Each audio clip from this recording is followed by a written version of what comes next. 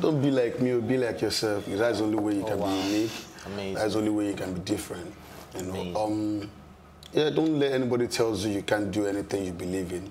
You know, because a lot of the times I tell people the best advice you can get is the one you give to yourself.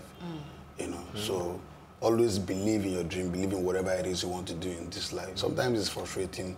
Sometimes, you know, it might take a longer time to get to where you're going. But believe me, you if you believe and you are the type that pray and you know believe in God and believe in yourself, mm-hmm. you get there. I just take a while, but you will definitely. A step at a time. All right. All right.